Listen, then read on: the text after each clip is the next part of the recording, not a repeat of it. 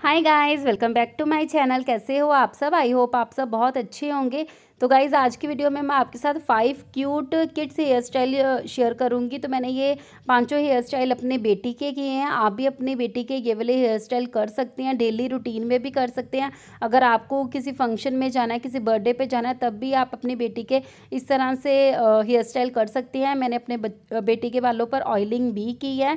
तो after oiling भी आप सभी हेयर स्टाइल अपने बच्चों के बालों पर कर सकते हैं। तो चलिए गाइज़ वीडियो को स्टार्ट करते हैं। तो गाइज़ मेरी बेटी को मैंने हेयर वॉश करवाया हुआ है। सिमर मेरी पाँच साल की बेटी है। तो हेयर वॉश करवाने के बाद अच्छी तरह से मैंने उसके बालों पर ऑयलिंग किया, क्योंकि मैं उसके बालों पर हमेशा ऑयलिंग करके ही रखती हूँ। उसके बालों को बिल्कुल भी ड्राई नहीं रखती हूँ। मस्टर्ड ऑयल से मैंने उसके बालों पर ऑयलिंग की है सबसे पहले मैंने सेंटर पार्टीशन किया है। सेंटर पार्टीशन करके मैंने इस तरह के छोटे छोटे रबड़ बैंड का यूज़ किया है। इसे मैंने लोकल मार्केट स्टोर से फोर्टी रुपीज़ का इसका पूरा पैकेट बाई किया है, जिसमें आपको काफ़ी अच्छे अच्छे कलर मिल जाएँगे।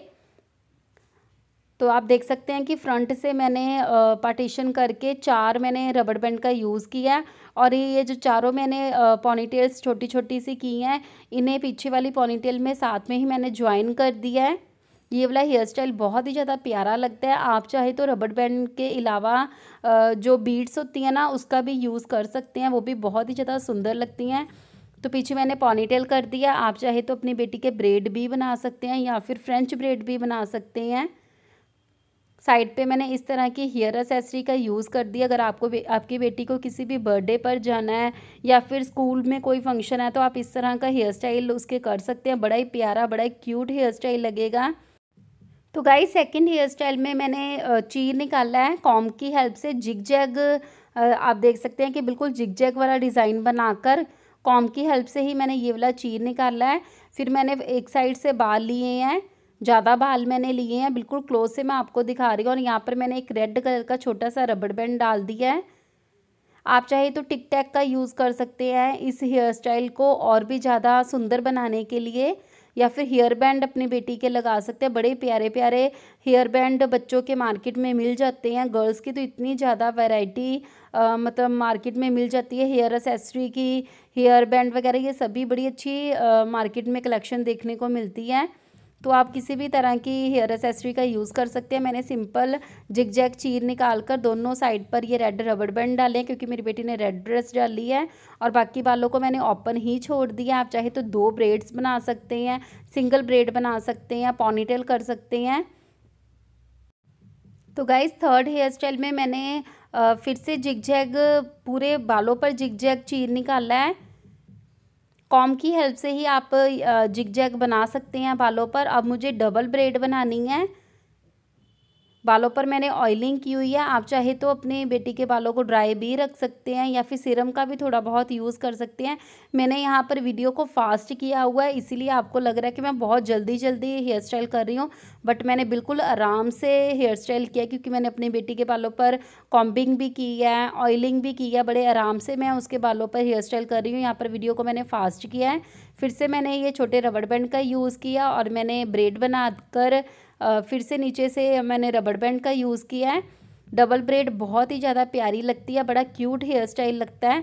आप चाहे तो सिंपल चीर भी निकाल सकते हैं बट ये जिग जैग वाला चीर ना आप ज़रूर ट्राई करके देखिए, बड़ा ही प्यारा लगता है।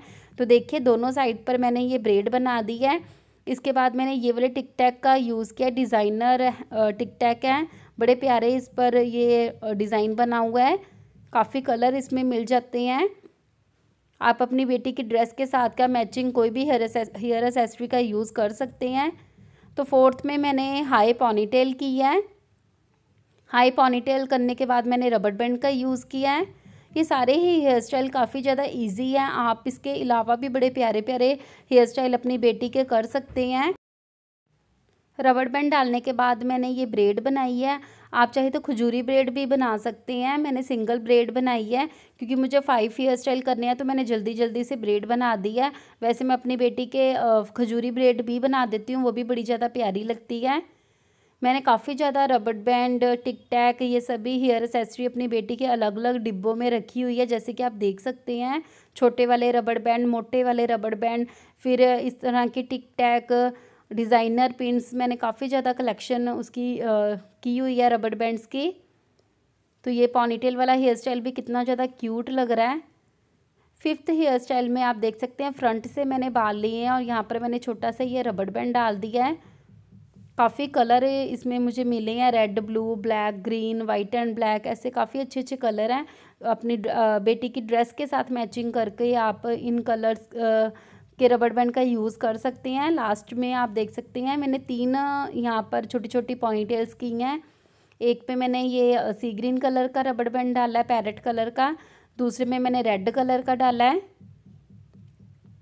तीन मैंने छोटी छोटी पॉनीटेल्स की हैं और लास्ट में मैंने इसे एक पूरी रबड़ बैंड से ज्वाइन कर दिया है सभी पॉनीटेल तीनों पॉनीटेल्स को। और यहाँ पर फिर मैंने, फिर से मैंने छोटी सी एक पिन लगा दी है। होप गाइस आपको वीडियो अच्छी लगी होगी। सारे हेयर स्टाइल आपको बहुत ज़्यादा अच्छे लगे होंगे। वीडियो अच्छी लगी हो तो वीडियो को लाइक ज़रूर करें और चैनल को कर दे सब्सक्राइब। Thanks for watching.